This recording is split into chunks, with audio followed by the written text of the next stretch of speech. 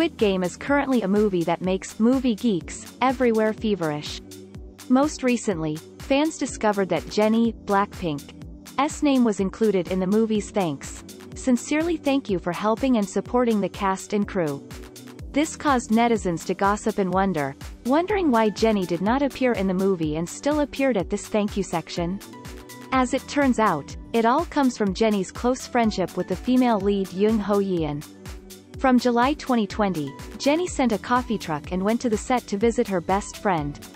On the coffee truck, there was a message to the film crew, actors, production team, staff, everyone, please take good care of Sae-byeok Unni. Sae-byeok is Yoon Ho Yeon's role name. Over the years, the Blackpink member and the top model of Kimchi have been close friends, even regularly dating each other to go out, cook for each other, and support each other in their careers. But one special thing is that in the promotional video, it seems that the powerful actor Lee Jung-jae of the film is the most excited. He mentioned Yoon Ho Yeon and Jennie as great friends, and revealed that Jennie visited the set to visit the actors.